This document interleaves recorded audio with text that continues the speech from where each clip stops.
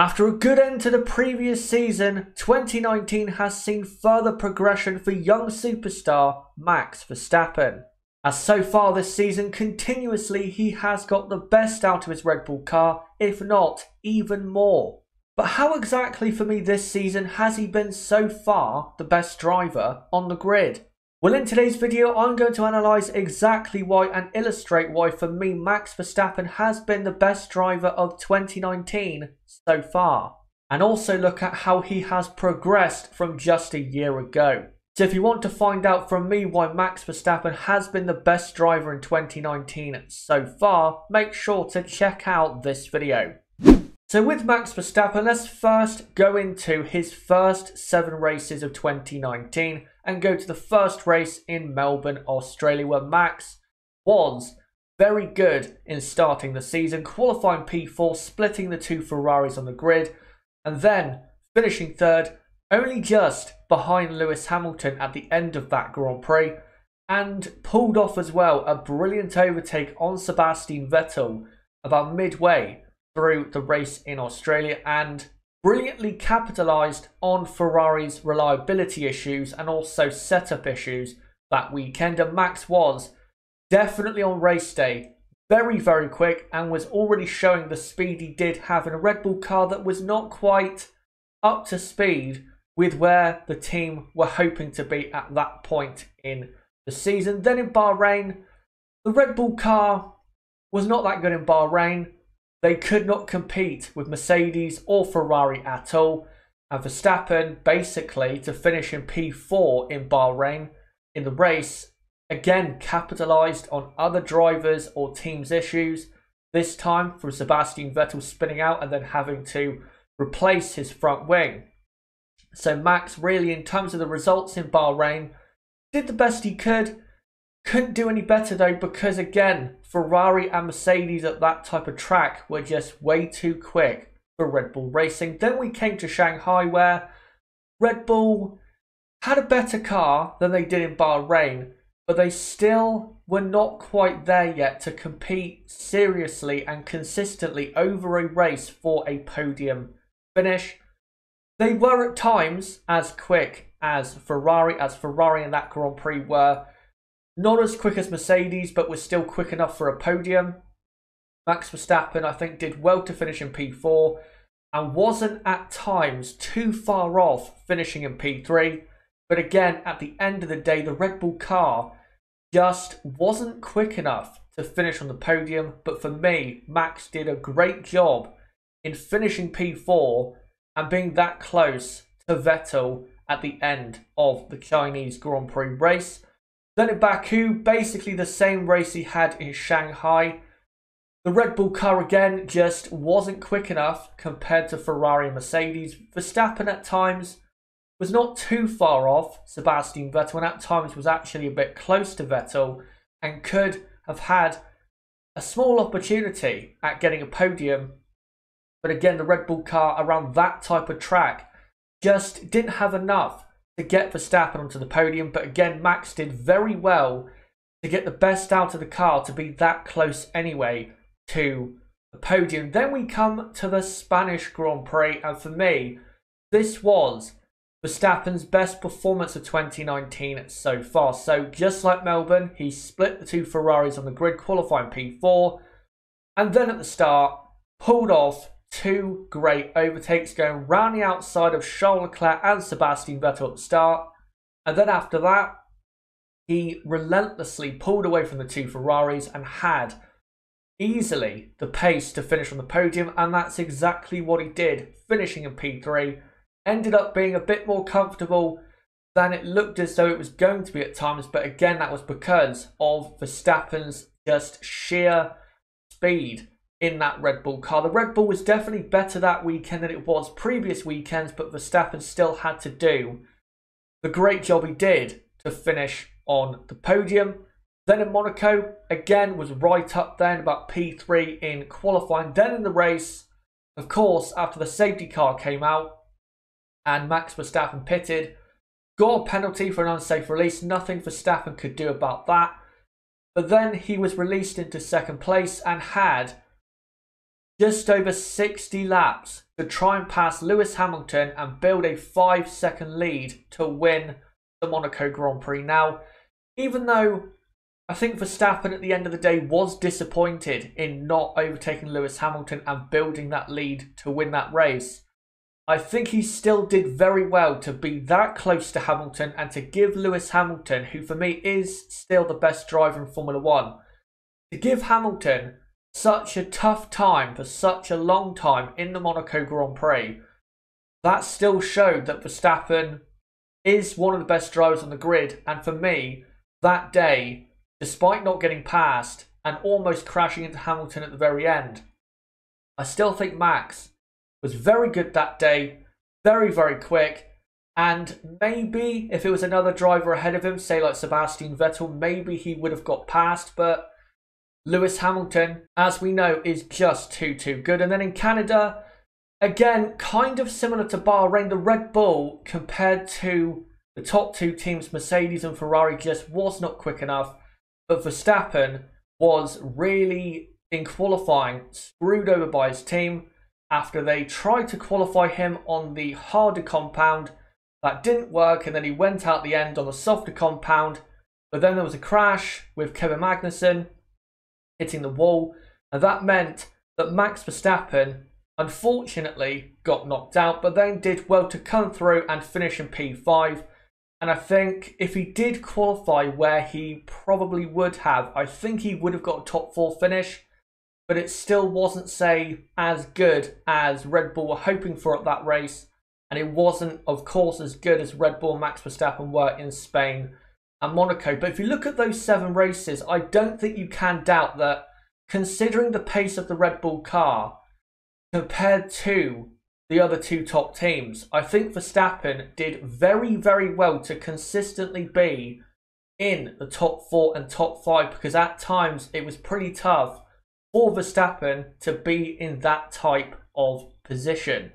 And here are the key stats so far for Max Verstappen in 2019. So he's currently P4 in the Drivers' Championship with 88 points, has two podiums in 2019. Of course, in Monaco, he did finish second on the track, but had that penalty.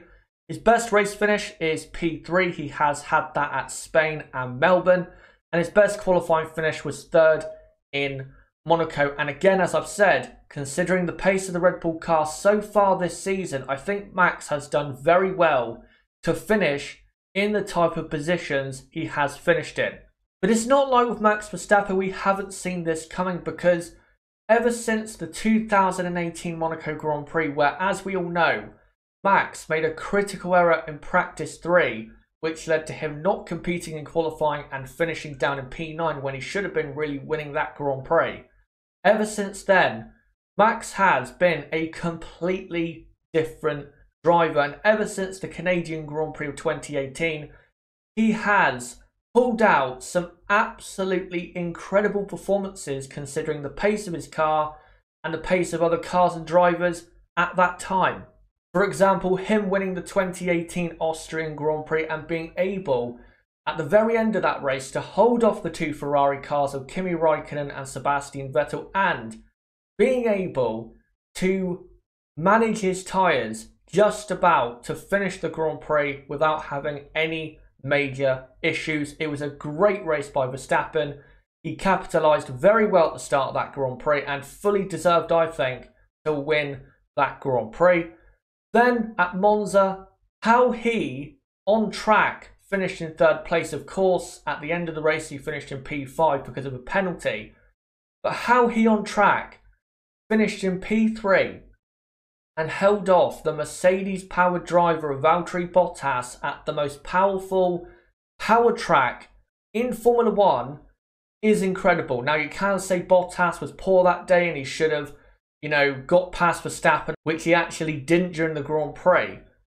But still, for Verstappen to hang on to that position for so long, you have to commend him for what was a great race at the Italian Grand Prix. At Monza, also Singapore, the following race after that, qualifying and finishing in P2. The reason this performance was so good was because not only was the Red Bull car not great or amazing. It was good that weekend, but it wasn't great or amazing. But Verstappen had to deal with so many reliability issues that weekend. He almost stalled under the safety car at the start of the Singapore Grand Prix because the Renault power unit was so faulty that weekend and kept cutting out. So Verstappen did very well to be able to manage those issues and still qualify and finish in P2. Russia in 2018, another great performance coming from the back of the grid, getting up to P5 after the early laps of the Grand Prix, and then eventually, after not pitting, was in the lead of the Russian Grand Prix for a very long time.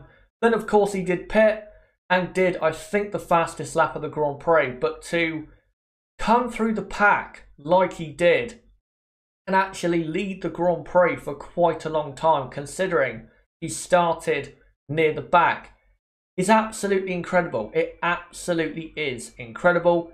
Also, the US Grand Prix, where again he started near the back and almost won the Grand Prix, finished only one second behind Kimi Raikkonen if he did start in the top five, I think Verstappen probably would have won that Grand Prix. But considering again that he started from, I think it was P15, to come from that position to finishing second and only finishing one second on track behind the race winner is again an incredible performance and shows just the talent and the sheer speed that this guy has.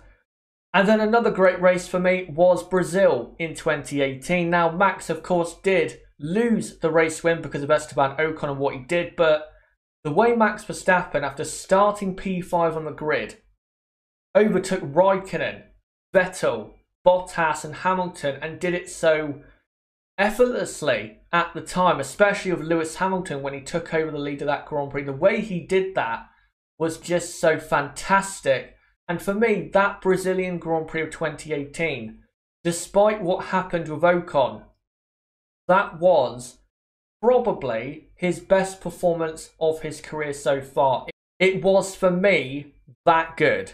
So you can see there the signs of what was to come for 2019 so far were happening in the back end of 2018 and you could argue that in the final half of 2018 that Max was the best driver on the grid. He was so, so good. Of course, the Red Bull car being as quick as it was at times on race day did help, but he still did have to, you know, complete those overtakes and had to get the speed out of the car that at times his teammate at the time, Daniel Ricciardo, did not do, even though Ricciardo, of course, had his bad luck. But for me, it's pretty simple as to why Max Verstappen has improved compared to a year ago where he was making so many mistakes in that Red Bull car. The reason he has improved is because now he has found the balance between being aggressive at the right times during a Grand Prix weekend.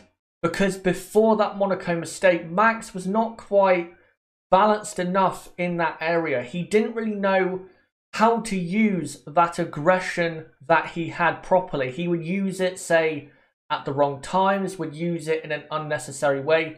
He still has used it at times ever since that Monaco 2018 mistake he made.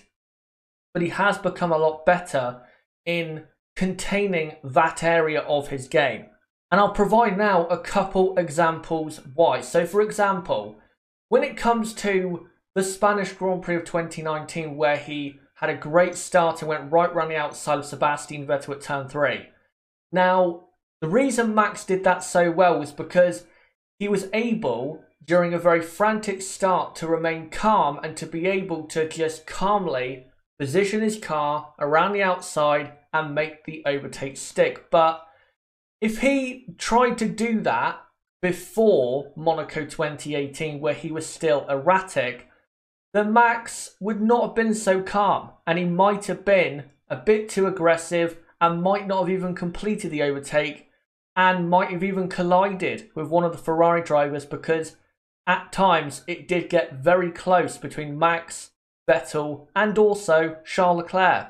But I think the best example of comparing Max of 2019 to the early Max Verstappen of 2018 is this year's Monaco Grand Prix. So, of course, right at the end of the Monaco Grand Prix, Max Verstappen tried to pass Lewis Hamilton, locked up. He did connect with Hamilton, but was able to be cautious when it mattered so he did not wipe himself and Hamilton or Hamilton out of the Grand Prix.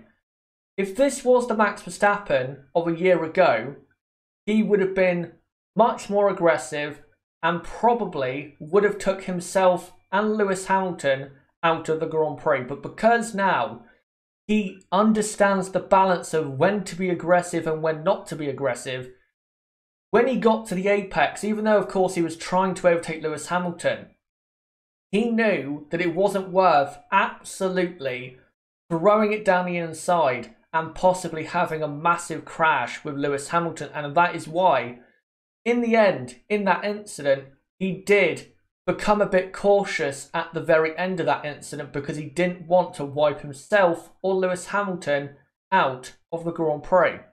And I think really that is the main difference between Max Verstappen in 2019 and the early Max Verstappen of 2018 and even before the early part of 2018, Max now has learnt the difference of when and when not to be aggressive. Now, of course, Max Verstappen is definitely going to make some mistakes in his Formula One career. That is inevitable. But I think, based on the last year, it's definitely less likely than it was in the early part of 2018 because he really has come on since then and he really has matured compared to the early part of 2018. And I think if Max continues to mature and improve in terms of when he's aggressive and when he's not aggressive, if he does get the right car at a certain weekend or for an entire season, Max Verstappen is a very, very scary prospect and could absolutely take the fight to a driver like Lewis Hamilton for the World Drivers' Championship if the car, though, was good enough, because right now it just isn't. But I think we can definitely say, based on the last year or so, that if Max Verstappen does get, for a season at least, the best car or a good enough car to consistently go for race wins, he can absolutely win the World Championship. Of course, we'd have to see how he dealt with the pressure of going for a world championship, and it is definitely different compared to when you go for a race win or a pole position. But I definitely feel as though Max Verstappen is not far away from going for a world championship. And if Max can continue the great form he has shown so far in 2019, then the epic battle between Hamilton and Verstappen that they had in Monaco could be very soon a regular occurrence. But guys, that is my opinion on why Max Verstappen, for me so far, has been the best driver of 2019. Let me know in the comments, do you agree or do you disagree? Again, let me know in the comments section down below. Also, don't forget to subscribe for more content like this and also like this video for more content like this. And don't forget guys, I will be live tomorrow at 1.30pm UK time for the Practice 2 watch along for the 2019 French Grand Prix. So until that Practice 2 session in France, it has been me, Chazza HD. Goodbye.